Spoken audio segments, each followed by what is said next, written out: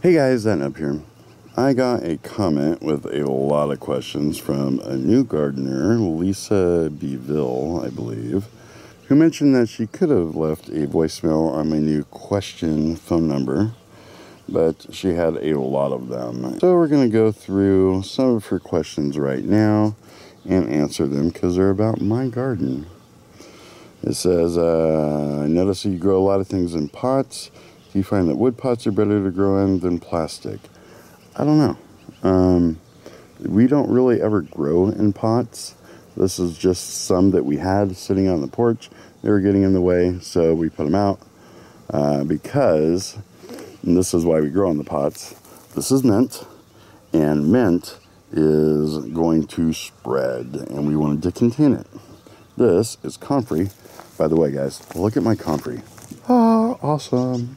Okay, anyway, this is comfrey and it spreads and takes over. And then we just had an extra one here. So we put tomatoes in it, which are doing a lot better now.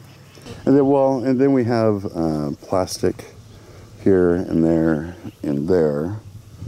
And they all have sand at the bottom, then like manure, then compost. And I don't know, we're just growing them in there because we had some pots and we had some leftover compost and whatnot, and uh, that's where we put it. So, uh, are there any rocks in your tubs? No. We just have the sand and the manure and then the compost. Uh, let's see. How long have you been having your back Eden garden going for? And here we have been on this property here for almost three years now. Yeah, almost three years in October. And when we got it, it was all sand. Even the grass here, this is pretty much all sand. And it took us a while to get the grass back. And out there in the pasture, we have uh, been putting the wood chips down, trying to recreate soil again. But everything out here is pure sand underneath the wood chips. Then it says, uh, let's see here. Uh, notice that you have to sprinkle or use a sprinkler. How much are you giving the water? How much are you having to water your garden? Uh, I don't know what, how much we have to, but with everything being sand, I run each line on the sprinklers for an hour at night. I know it's way too much, but underneath it it's just sand, so it's all just draining right through anyway. So that's that. Out here, these uh, sprinklers with the hoses, that one and that one right there. And the one that you might be able to hear in the background that's on the backyard right now uh, those run for probably about an hour each in the mornings. Uh, it's just finishing up its cycle now, and it's what 8:30 or 7:30. So how much do I have to living out here in the desert? I don't know, but I do it for an hour because, again, it, all the extra is just going to run through and get back down into the aquifer and call it good. Next question. Do you constantly get wood chips from a tree service? I did get constantly get wood chips from a tree service, and they would bring them out and put them in this area right here, and then in big piles. And then about once a month or so, they'd come through with like a bobcat kind of a thing. I think it was called a case. And they would knock it all down. But then they'd keep piling it in the same spot. So you can see here, we got a huge mound still going even after it's all been leveled. And out there's a couple extra mounds. And I kind of wanted them to start pushing it out that way as much as they could. And so they kind of started out that way. And then we had the nasty grams from the county and we had to get a grading permit. Right there it is. We had to get a grading permit spend some money, pay a fine, and then we were allowed to have up to 500 cubic yards, which this is, give or take. And then we still have to kind of grade it down. That's good for about two years. And once I uh, uh, level this down a little bit more, I'll call them out to have them look at it and say, hey, you're good. After that, they take that one away.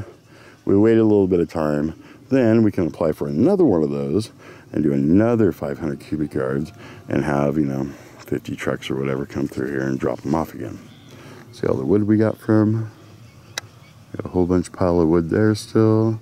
Piles over there. And there's some underneath all this here. But that's all free wood from tree service. Not that we have a fireplace, but maybe one day. Wood burning stove in here would be awesome. So let's see the next question. Um, why do you why do you have a small valley built around your fruit tree? Is that an important thing to do? No, it is not an important thing to do. Um, I should not have tried to plant this in. Uh, right now, we're standing on top of about, let's say right here, probably about three actual feet of wood chips. Yeah. Here, it's more down to about two you don't plant in the wood chips. You plant in the dirt or sand or whatever you got underneath the wood chips.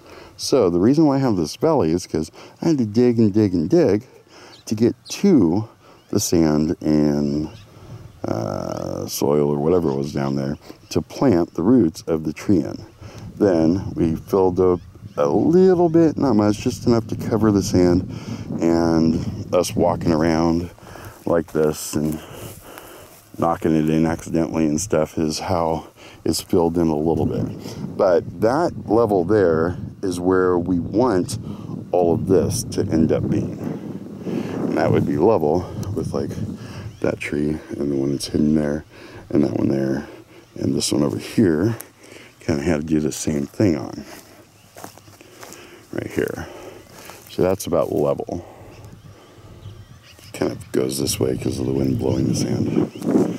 So that is why um, I don't want any of this here. But I went through afterwards and started planting stuff. So now I got to wait until after it's all gone, like my little peanuts there. All this stuff's gone before I can level all that out again. And that is why we have the ditch. It is not always going to be a ditch. It wasn't intended to be a ditch. It just ended up that way right now. Next question. What type of apple tree do you have? These are both Costco apple trees. And look at this zucchini. It's getting so big. I already pulled a couple off of here already. Some more in here that are getting ready to be picked soon. Anyway, here we have on the side of it a combination apple, several varieties, item numbers, and everything. On here we have Norland, uh, Haralson. Oh, there you go, Haralson. My shadow is shadowing. This is Winesap. This one here is Loda, Lodi. And we already got that one. And then the other one, hello, little asparagus. These sunflowers, huge. Uh, the other apple tree, let's cut through here. Okay, so that one we planted this year from Costco. This one over here we planted last year and it performed pretty much like that one did. But this one here is another combination apple. And this has early Fuji. And it has red Gravenstein. It has Honeycrisp.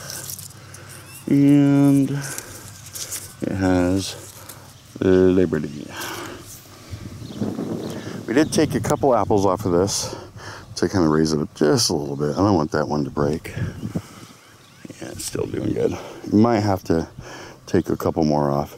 I did try them and they were tart, but I still grew them and I still ate them. Well, part of them. Okay, let's see here. Next question is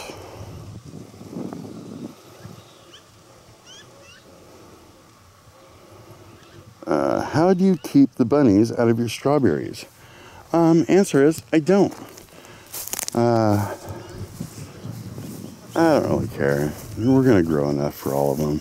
Probably why I don't really have any strawberries on these ones yet. Look at how much that's running.